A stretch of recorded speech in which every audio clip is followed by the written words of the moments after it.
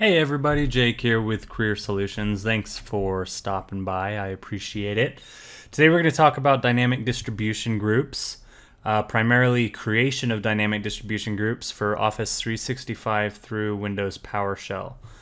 Um, this is going to be a very specific tutorial, so if you would like to see more like it, uh, please be sure to like and share and subscribe to our channel and we will create additional videos. Um, so let's go ahead and get started then. Um, what we're going to do today is we're going to focus on conditional custom attributes and custom attributes. Uh, custom attributes are attributes that are created for a user. So if you go into your Exchange Admin Center for Office 365, go to More Options and go to Custom Attributes, you'll see that you have 1 through 15 here. Now you can put any values, um, but they're uh, single values, so a single string value. So we would do custom 1, and then you could do another one. Let's say we want to do custom 2. So what this does is this creates a value for 1 and 2. And we created it through the GUI, not a big deal. This part can also be administered through PowerShell. However, we will not be covering that in this tutorial. So let's go ahead and save now that we've created those two custom attributes for our user. And let's go to groups. As you can see, we do not have a group currently through the GUI interface. But let's go ahead and create one using the GUI real quick. Let's go to dynamic distribution group and we'll say GUI made and we'll just say GUI made and we will add a rule. And let's say rule one is, let's make it custom one. Okay, and then let's also do rule two, and let's do custom two. All right. Okay, we'll create that group, and there you go. GUI made. Custom attribute one is custom one. Custom attribute two is custom two. Now, you might be thinking that, great, that's perfect that will work. Now, in this particular case, it will only work because custom 1 and custom 2 are both true. Now, if I were to go back to my user account and go down to our custom attributes, if I were to remove one of these, that statement for groups would actually no longer be correct.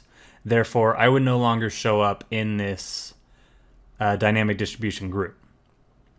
So I'm going to show you a method to get around this and basically replace this AND operator that's between these two custom attributes with an OR operator, allowing you to add members to a dynamic distribution group where they have custom 1 in the custom 1 attribute field or custom 2 in the custom attribute 2 field.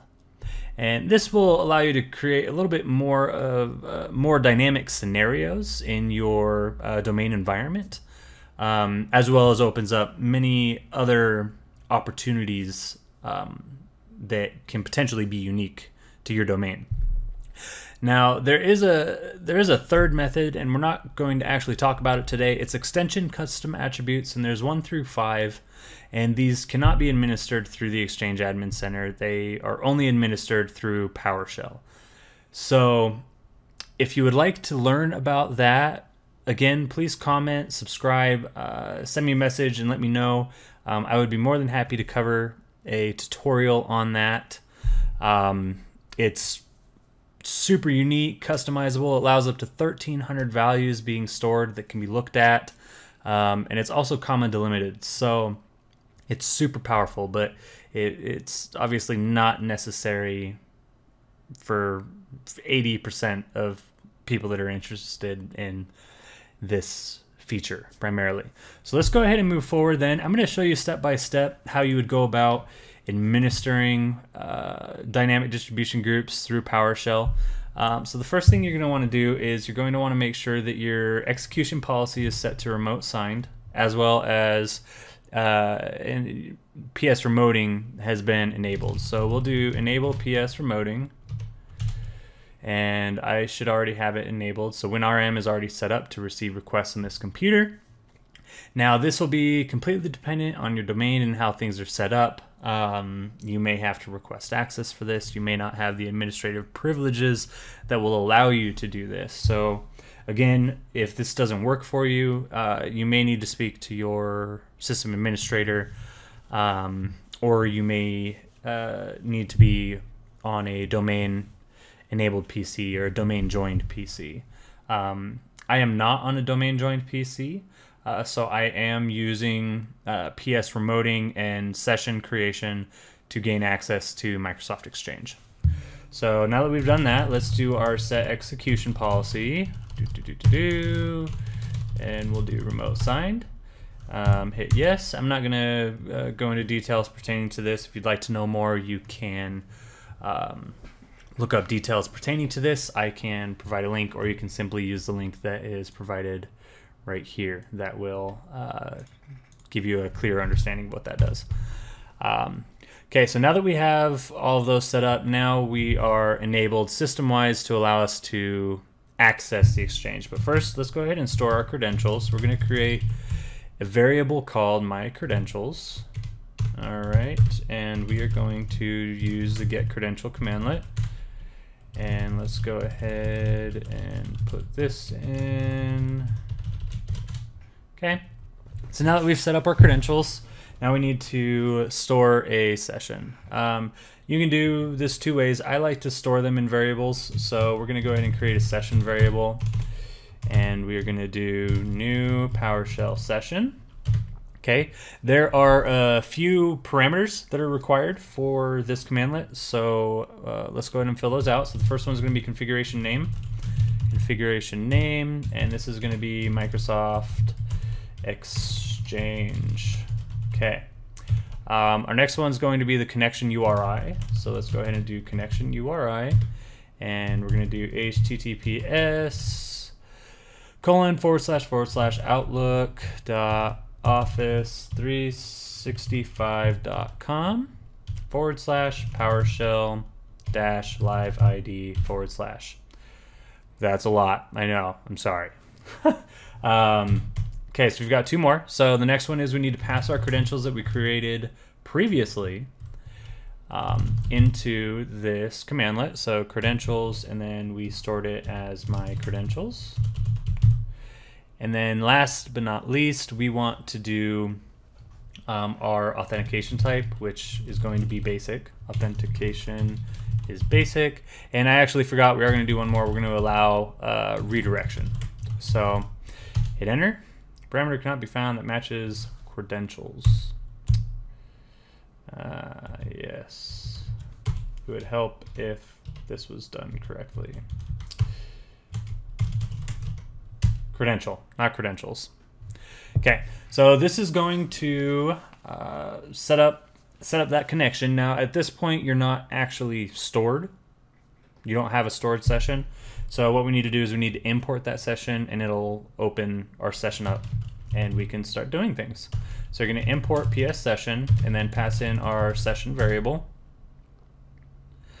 Now you can see uh, stuff going on up here as it's fetching all of those commands um, and finding what is available. Now, for most of you that are probably going to be on a domain uh, environment, you're probably going to be remoting into a uh, into a, a, server of some kind, probably a virtual machine um, that will hopefully be updated. Um, you want to make sure that your uh, PowerShell versions are at least matching uh, between the PowerShell version you're running on your PC and the PC or the server that you're remoting into. Um, if you get a bunch of error messages at this point, um, that's not a big deal. All that's going to do is tell you what commands are missing and what you won't be able to use. Uh, now you can do a test here just to make sure that you have access. In that case, we'll go ahead and do get mailbox identity and then just put in the name of a user. So there's me. Ta-da! Look, found. Yay! Okay, so we know that the functionality is working, so let's go ahead and create our dynamic distribution group. So we're going to use the commandlet new dynamic distribution group and it uses the uh, name parameter, and we'll call this PowerShell made because we're awesome, right? Okay, yeah, we're pretty cool. Okay, so we're gonna pass it the now. well, okay, let's step back a bit. Now, technically, we could create it um, with only the name parameter and the recipient parameter. So we have to do include recipients. Um, include recipients. And in this case, this is just going to be mailbox users. So mailbox users. Awesome. Now, we could create this right now, but we don't want to do that just yet because we want to add in some conditional custom attribute parameters, kind of like what we made for the GUI made dynamic distribution group. So we're going to do conditional custom attribute one, and we're going to do custom one. And then we're also going to do conditional custom attribute two, and we're going to do custom two. Hit enter. If you see this, that means it's been a success. Now you could also test this, and you could do get dynamic distribution group, and then put in the name uh, PowerShell made, and then you can see that you get that. And keep this in mind because we're going to be using that to test um, what users have been added to a dynamic distribution group. So this is actually a pretty important command that you'll use and that'll be stored in a variable, but we are not there yet. So first off, what we need to do now is, I guess actually we could test that. So let's go ahead and store that equals get dynamic distribution group identity PowerShell made. Okay, so now we just stored that and you can test that by just calling that variable store. So now what we want to do is we want to get the recipients that are members of that dynamic distribution group. So we're going to do get recipient and then we're going to do recipient uh, preview filter and then we're going to pass that variable. So store dot recipient filter. And you will see that I am now a member of that dynamic distribution group. And the reason why is because our conditional custom attribute 1 is custom 1 and custom 2. Now if we go and look at my attributes, you will see that I have custom 1 and custom 2. Now, what happens if we delete this? Let's let's take a look at that. So custom 1, delete, save. So now I only have custom 1 in the custom 1 attribute field. So if we restore that into our store variable, and call it again, I don't show up. And the reason is, is because like I showed you earlier in this video, this is an AND operator. So both of these conditions have to be true in order for the recipient to be added to this dynamic distribution group. But we don't like that. We want to be added if custom 1 is in the first attribute, or if custom 2 is in the second attribute. So let's go ahead and modify this a little bit. So to do that, we're going to do set dynamic distribution group, and you're going to call the identity, and we called it PowerShell made. And there are a few other parameters that we will want to um, set for this. And this is where it gets a little bit tricky. So we're going to call the recipient filter parameter, and we're going to use curly brackets. Don't forget that, it won't work without those. And then now we're going to specify our parameters within the recipient filter. So first off, you still have to do recipient type. So recipient type is equal to uh, mailbox well, actually, we can do mail user in this case since it's within recipient fil filter. So recipient type equals mail user, and actually don't forget to put parentheses around that. Okay. And then we're going to do an AND operator. And within this parenthesis set, this is going to be our conditional OR statements for the custom attributes. Now, previously they were set up as custom or conditional custom attributes. Because that was within the rule. So now we're going to be specifying what we're looking for from the recipient. So we're going to do custom attribute one is equal to custom one or custom attribute 2 is equal to custom 2. And that's it. And then hit enter. Now, if we come up here and we refresh this, you'll now see that we have a new dynamic distribution group that's been created. Go to membership. You'll no longer be able to administer this through the GUI interface of Exchange Admin Center. You'll have to do this through PowerShell at this point when you add in customizations like this. Okay, so let's just hit save or cancel, either or, we didn't make any changes. And let's go back to that store variable and let's call it again. And let's see what happens.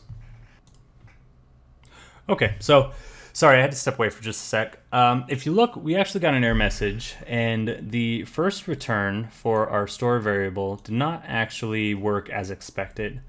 And the reason for that is because we set our recipient type to mail user, which is actually incorrect.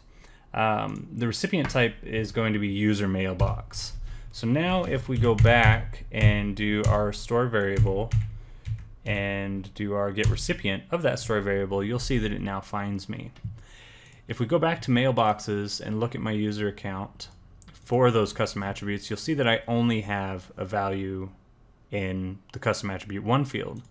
Now, if I were to come here and modify that to custom 1234 and save it, if we ran the exact same commands, I would no longer show up. And then also, in addition to that, if we were to come back and we were to add custom 2 here and hit OK, then you would see that if we rerun this, I now show up again.